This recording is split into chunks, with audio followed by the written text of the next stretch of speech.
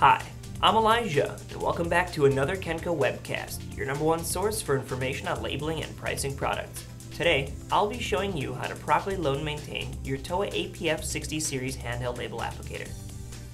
If you find this video to be helpful, please click the like button below. Unlike the APN series applicators, the APF series applicator features an adjustable mech sensor making it possible to apply labels with odd shapes, such as circles, ovals, and starbursts, as well as custom shapes with ease and precision. Before we begin, let's familiarize ourselves with several key components of the applicator. Let's pick up the applicator with our right hand. Right away, you will notice the label housing assembly. On the left, you will see the roll guard. The roll guard will help secure your labels when the applicator is in use. As the arrows indicate, turning the roll guard counterclockwise will unlock it, while turning it clockwise will lock it. On the label shaft, you will see a plastic core. I'll be talking more about this plastic core later on. Rotate the applicator and take a look at the bottom. Here, you will see the feed mechanism door and a hinged latch at the bottom.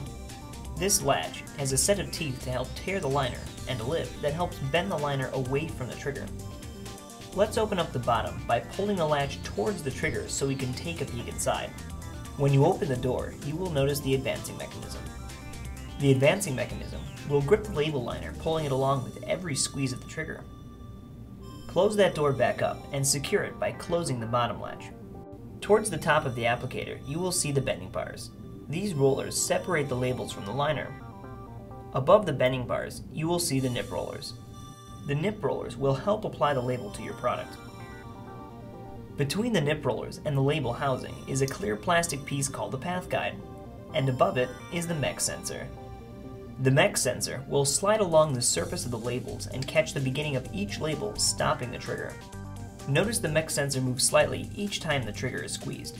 Unlike the APN series, the APF series applicator features an adjustable mech sensor enabling it to apply labels of various shapes. Notice the mech sensor adjustment knob and ruler. I'll be talking more about the mech sensor later on. Now that we are more familiar with the various components, let's talk about choosing the labels you'll use with the Towa APF 60 series label applicator. The Towa APF 60 series uses labels with a 1-inch core. If your labels are not on a 1-inch core or did not ship on a core, a plastic 1-inch core is provided with every applicator for your use. You can learn how to wind your labels around the core at www.kenco.tv. Once your labels are ready, we'll learn how to quickly and properly load your Towa APF 60 series label applicator. First, remove the roll guard by twisting it counterclockwise and lifting it up. I'm going to take off the plastic core, since the custom printed labels I'm using were made specifically for this applicator and are available through Kenco Label. For a quick quote on custom printed labels, call us at 1-800-86-KENCO. The APF 60 is especially suited to dispense labels that measure between 1 and 2.33 inches wide with a maximum outer diameter of 4 inches. If your labels are wider, you may wish to use the APF 100 applicator. Flip the applicator and open the bottom cover by pulling down on the bottom cover latch. Grab a roll of labels and place it on the shaft of the housing assembly in a counterclockwise direction.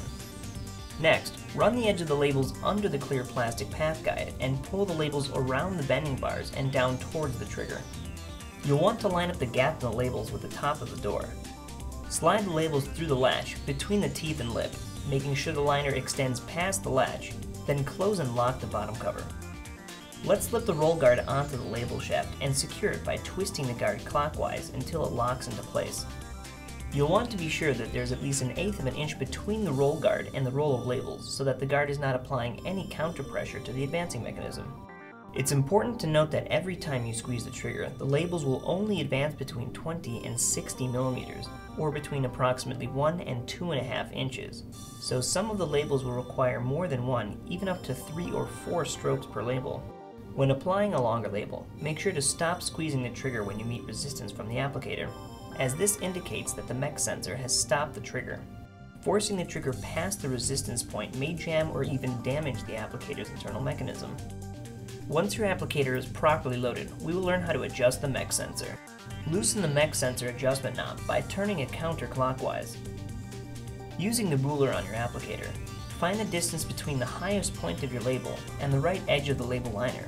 In this example, the distance is 2.5 centimeters. Slide the adjustment knob to this location, then tighten the adjustment knob by turning it clockwise and we're ready to begin labeling. To label an item, simply pick up the applicator and squeeze the trigger until you meet resistance. This indicates that you have reached the end of a label. Hold the applicator directly over the product, then just apply the label to your product. Release the trigger, and you're all done. This has been another Kenco webcast. For more information and outstanding prices on these products, visit us on the web today at www.kencostore.com or call us toll free at 1 800 86 Kenco.